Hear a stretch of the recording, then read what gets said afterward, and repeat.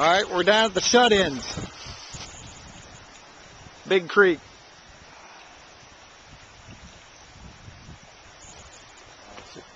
Water's way up. See over on that side there, it's kind of stair step. Mhm. You can actually climb up on the flat part there and then jump off. Sometimes that's even the Bill with his flip.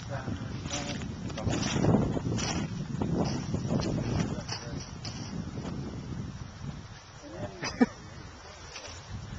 then, when you go up around the corner, there's a great big rock that sits right in the middle of the river. Here's the river. It's really up. It's going over here. Yeah,